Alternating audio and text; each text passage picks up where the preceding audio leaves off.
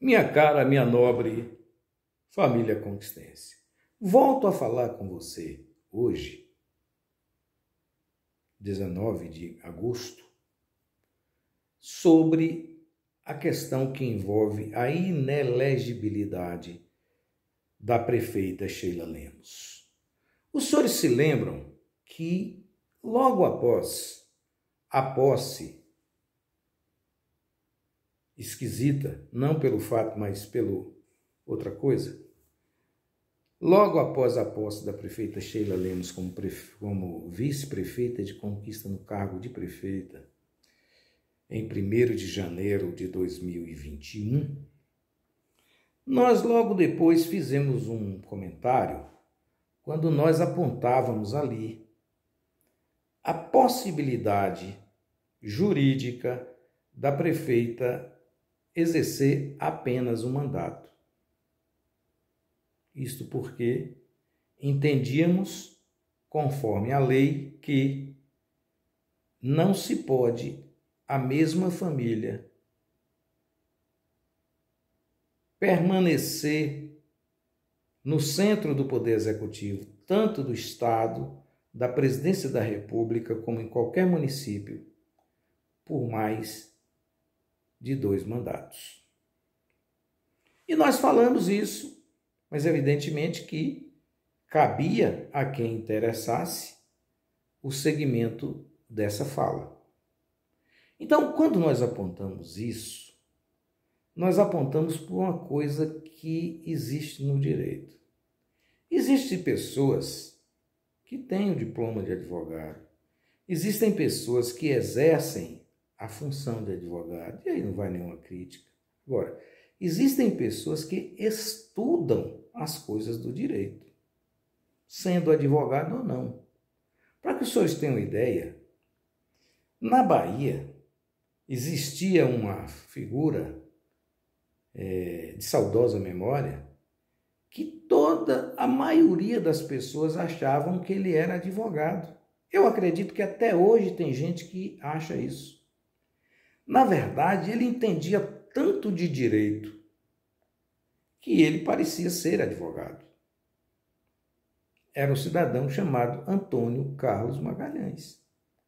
Um dia ele, numa entrevista, disse que nunca tinha dado uma injeção na vida, nunca deu um plantão médico e nada, mas ele era médico, formado pela Universidade Federal da Bahia. Então, uma coisa é uma coisa, outra coisa é outra coisa. Agora, o que não pode é que pessoas que sabem menos do direito não atacam o cerne da questão, não estudam os artigos e se arvoram a dizer que alguém não está falando corretamente a coisa. Ora, seria muita pretensão nossa se nós disséssemos que a coisa era líquida e certa. Apenas o que é que nós dissemos?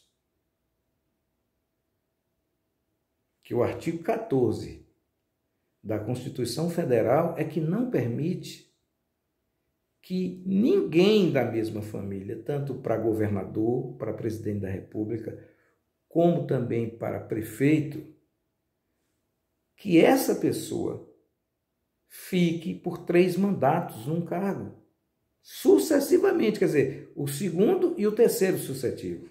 sucessivo. Foi isso que nós dissemos. E agora, mais um capítulo dessa história, e a prefeita Sheila Lemos, ela sabia disso desde o início do governo dela. Mas insistiu em colocar a candidatura. Então, eu posso dizer o seguinte, com toda franqueza, eu aprendo muito com quem sabe menos do que eu, pode ter certeza, porque cada um sabe uma coisa que você não sabe. Agora, aprender direito com quem sabe menos que eu, aí não tem condição não. Então veja só, não vamos enrolar, fazer enrolation, como eu vi, infelizmente, com todo respeito. Eu vi a petição de contestação da prefeita municipal e vi que o peticionário ele ele fugia do, do fugia da questão. A discussão ela se restringe ao mandato do prefeito Ezen Guzmão de 16 a 20 com a vice-prefeita co-participante do governo, Irma Lemos, que, por, por, por sinal, é mãe da atual prefeita. A coisa se reside aí. Nada a ver que, que o prefeito veio, acabou morrendo no, no mês de março, nada isso. Isso não tem nada a ver. Então, o que, qual é a discussão do assunto? A ilustre Irma Lemos foi vice-prefeita de Vitória da Conquista. Levada a esse cargo pelas mãos de Gedel Vieira Lima, assim como o prefeito Ezen Guzmão, e eles foram vencedores das eleições. Nesse período, a vice-prefeita Irma Lemos substituiu Erzen em 2019 e em 2020 substituiu e acabou sucedendo. Ponto. Nesse período, ela indicou a sua filha, Sheila Lemos, para ocupar a vaga de vice-prefeita na chapa que Ezen era candidata à reeleição, ou seja, substituiu a mãe pela filha. Totalmente legal, não há nenhum empecilho nesse sentido. Entenderam? Mas eu queria chamar a sua atenção para uma coisa.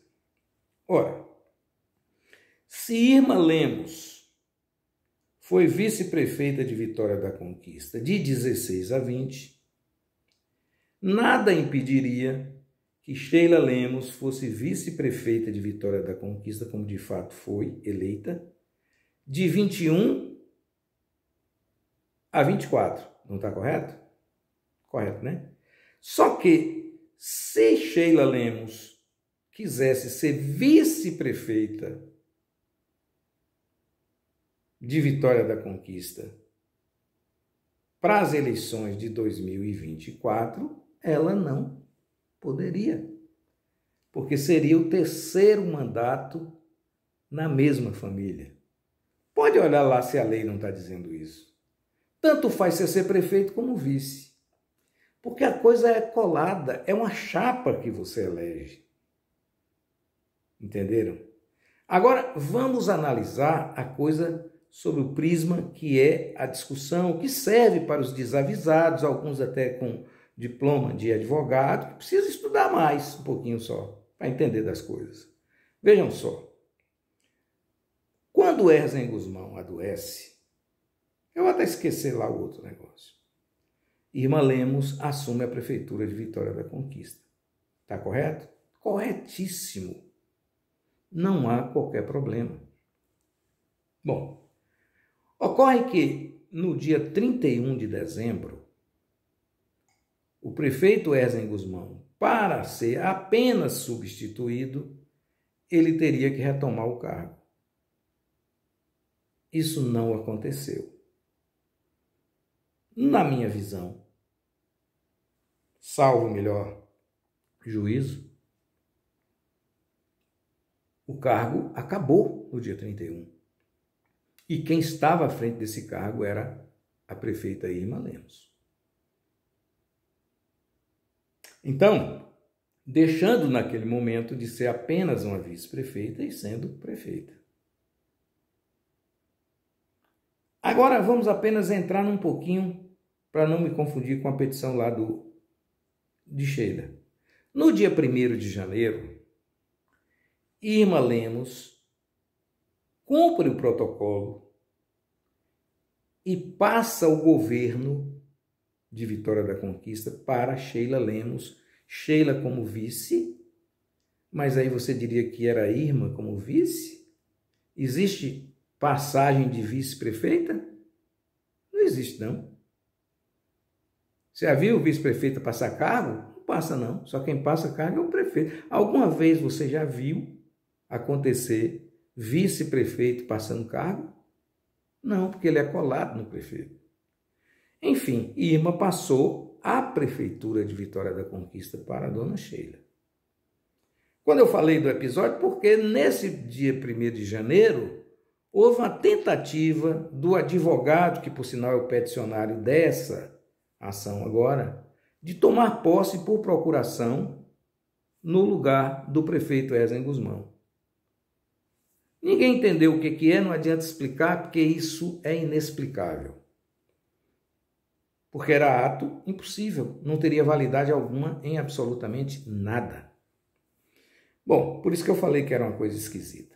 Mas, com todo respeito ao grande advogado que é o senhor Ademir Merim, eu sei disso.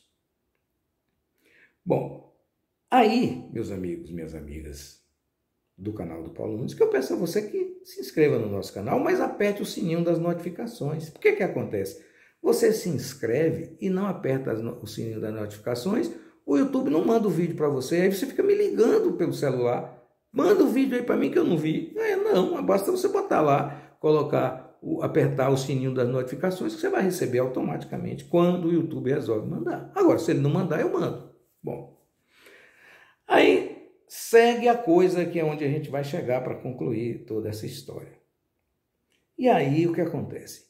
Sheila Lemos toma gosto pela política, coisa que ela não tinha. Né? e resolve ser candidata à reeleição. Mas ela não tomou isso como surpresa, porque ela sabia disso desde quando ela assumiu o governo. Porque eu falei. Todo mundo, quer dizer, pelo menos o meio político de conquista, sabe que eu disse isso, embora sozinho. E isso é tão verdade que o advogado Ademir Merim deu uma entrevista, se eu não me engano, para Anderson, o jornalista Anderson Oliveira do do blog do Anderson, quando ele disse que já estava em Vitória da Conquista, se preparando para caso alguém entrasse na justiça em relação ao episódio. Ora, por que tanta preparação? Se não, não tinha nada a ver, estava tudo como. Não, é, não foi isso o comentarista que ligaram aqui para mim para dizer? Eu falei, não, eu não vou não ouvir, nem vou ouvir, não quero nem saber. Mas o que eu quero dizer é o seguinte: ah, mas está dizendo que. Não, como é que não tem nada se o advogado já está todo precavido, morando na cidade para resolver? Ora, pelo amor de Deus. Bom, então dizendo isso, o que que aconteceu, meus caros e minhas caras? Ora, se a explanação que eu fiz dizendo que Sheila não poderia ser candidata a vice-prefeita nesse pleito agora, para os anos 25 a 29, então ela também não poderá ser candidata a prefeita. Se ela está impedida de ser vice-prefeita por três mandatos na mesma família, que o artigo, artigo 14, parágrafo 5, 7 da Constituição Federal diz que não pode, então ela também não pode ser prefeita, que é do mesmo mesmo artigo e o mesmo parágrafo, os mesmos parágrafos, e ainda acostado o parágrafo 6 da Constituição Federal do artigo 14 também. Uma vasta jurisprudência nesse sentido. Então, observe, por que, que eu digo isso? Por quê? No momento em que a vice-prefeita Irma Lemos se torna prefeita, ainda que por um período curto, porque não está escrito lá na, no artigo que tem que ser curto ou grosso, curto ou grande, não tem nada disso. Está dizendo suceder ou substituir. Mas há correntes que entendem que substituir por, por pouco tempo, voltando o titular, não caracteriz, caracterizaria exercício do mandato. E eu discordo completamente disso, mas não vou discutir. Porém, essa mesma corrente que fala isso fala que se suceder, aí não pode. Então, vamos entender que a sucessão veio em função de que o titular não terminou. Seja lá por que motivo. Se motivo judicial, se por morte, se por ausência, se por abandono, seja lá o que for. E isso ocorreu em Vitória da Conquista. É claro que ninguém esperava e ninguém queria o falecimento do prefeito. Eu, pelo menos, disse isso. Fizeram até uma intriga comigo porque eu disse isso, que eu queria o prefeito Eslen Guzmão governando conquista até hoje. Juro que queria. Enfim. Aí então, Irma se tornou prefeita. A eleição que acabou redundando em Sheila assumir o cargo está perfeitamente, ato jurídico perfeito. Sheila governou como prefeita de Conquista, de Vitória da Conquista, assinando isso como prefeita de Conquista, se não me engano, no dia 22 de março. Definitivamente prefeita de Vitória da Conquista. Correto? Corretíssimo. Todavia, para as eleições de 2024, ela se torna impedida. Por quê? Porque a mãe foi prefeita, substituiu e sucedeu, a filha se tornou prefeita, no mandato correto, só não pode agora um terceiro mandato na mesma família. A mesma lógica se fosse vice. Ora, se você não pode ser vice, como é que você pode ser prefeito? Se o principal não é ser prefeito, e se a lei veda você ser vice por três vezes seguidas, ele veda você ser prefeita por três vezes seguidas. O ponto é esse. Agora, claro que direito tem que ter discussão. Por isso que tem advogado de defesa e advogado de acusação, gente. Eu posso ser derrotado. O doutor Adriano Soares, que fez um parecer espetacular, que você pode vê-lo no blog do Paulo Nunes, se você tiver paciência de ler, porque é um livro. Tem advogado Vitória da Conquista que não gosta de ler não vai ler ali. E vai ficar dando palpite, dando bituca em ponta de rádio, de blog, de, e de canal por aí afora, sem ler o que o cara falou.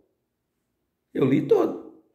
Inclusive brinquei, brinquei com um amigo meu. Você quer o parecer para ler? Não, não quero não. Eu prefiro conversar com você. Bom, então entenda. Esta é a situação. Ora, pode ser que o juiz de Vitória da Conquista entenda que e vai justificar, porque o parecer, o voto do juiz tem que ser justificado. Será que o juiz de Vitória da Conquista, se não me engano, doutor João, que ele vai escrever lá que foi por um, um curto período não tem problema? Ou que o artigo 14 da Constituição Federal precisa de reforma?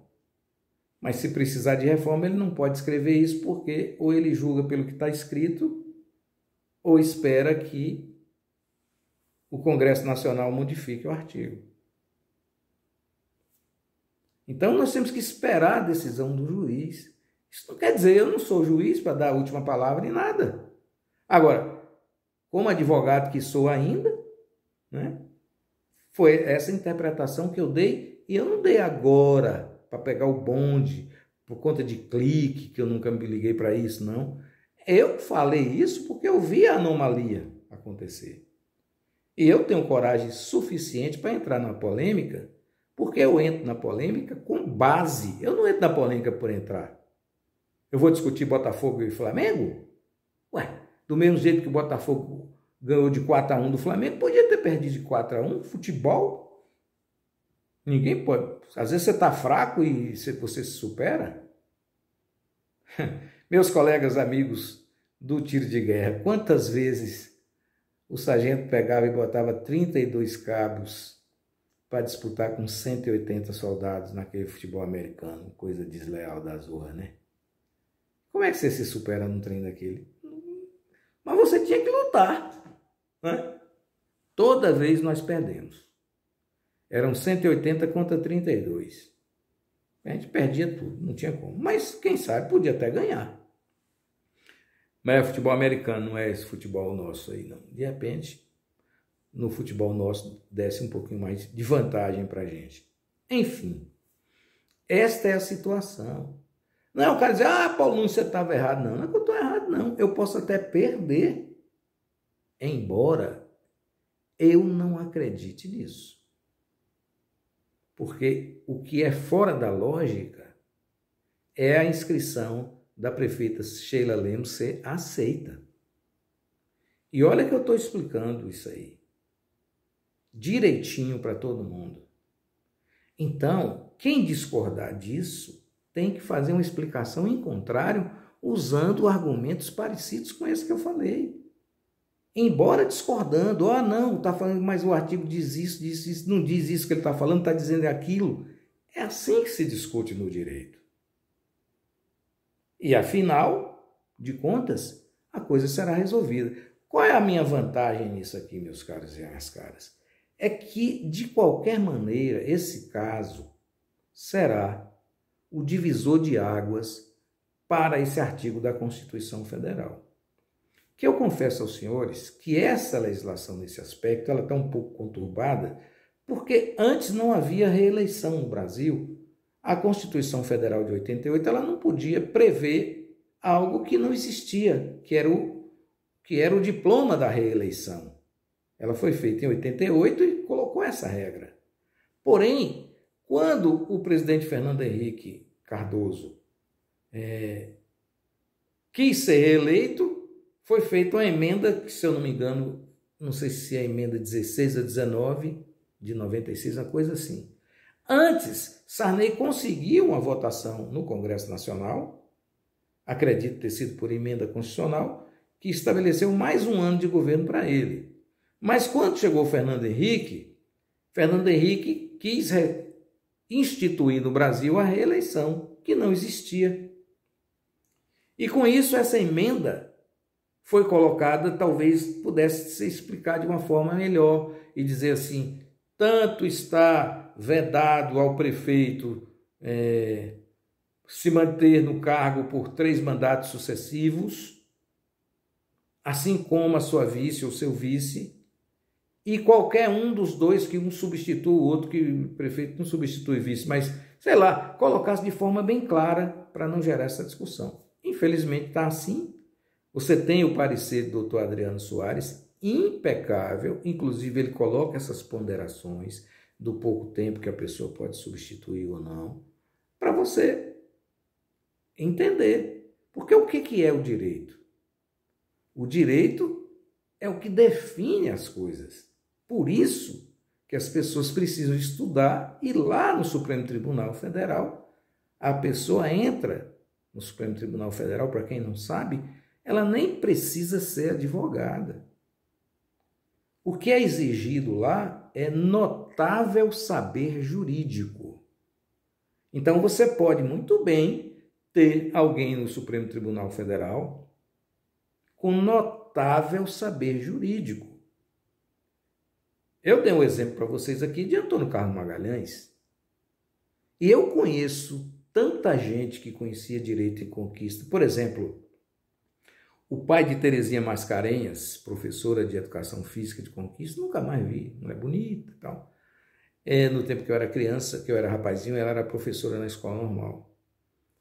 O pai dela, eu não sei se o nome dele era Juvenal Oliveira, acho que sim é o que se chamava naquele tempo de rábula. E ele era o capeta no direito penal. Nós temos, por exemplo, Antônio Martins de saudosa memória, jornalista de Itambé, que era um excelente tribuno, um rábulo, um advogado de marca maior. E temos a consagração na Bahia do major Cosme de Farias, que advogou a vida inteira na Bahia sem ter o diploma de advogado, mas estudava lei. Porque eu sempre brinco com meu querido amigo Evandro Gomes Brito, porque Evandro ele sabe todos os artigos do Código Penal, do Código Civil, do Código de Processo Penal e do Código de Processo Civil de cabeça. E eu às vezes pirraçava ele que eu falava assim, eu não sou rabo, eu sou obrigado a saber código, pô. Quem vai decorar artigo? E ele não decorou, não. Ele aprendeu os artigos. Então é a coisa mais simples. Artigo 30, aí ele fala. Fala sabendo, porque sabe mesmo. Bom, esses esclarecimentos necessários, na minha visão, a prefeita Sheila está inelegível. Agora, Se o tribunal entender o contrário, bola para frente, ponto. E basta.